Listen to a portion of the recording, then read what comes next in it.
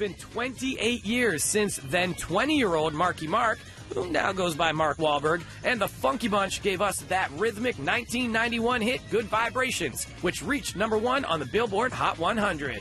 You know, when you think about that time, Yeah. what goes through your mind immediately? Um, excitement.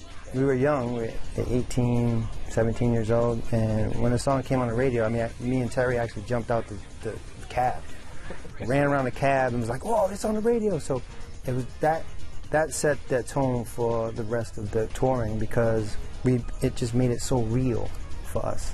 And being from you know city inner city streets, we, we didn't expect it to be that big either. And then before you know it, we're in Europe with new kids, opening up for them.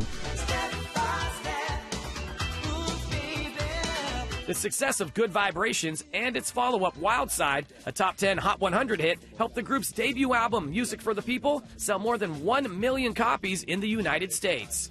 because Annie took a hit on the wild side. It's a lot to handle right away because it's, you know, it went from just, okay, we're doing our thing, doing it, to bam. How do you handle that?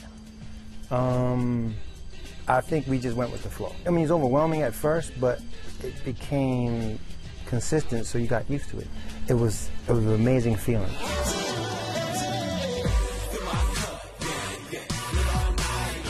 And let's talk about working with Sisqó on the new single, absolutely.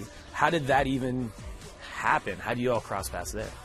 His his manager Kevin Peck uh, knew my mentor Keith Ingram, so they sent it to Sisqó. Sisqó said, "I'm in. What I gotta do, I'm in. I love it."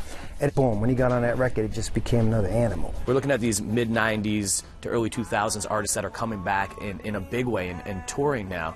Why do you think it's now that everyone really wants that feel?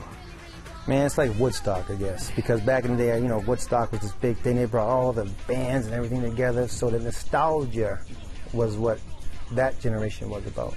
So our generation wants the same exact thing in nostalgia.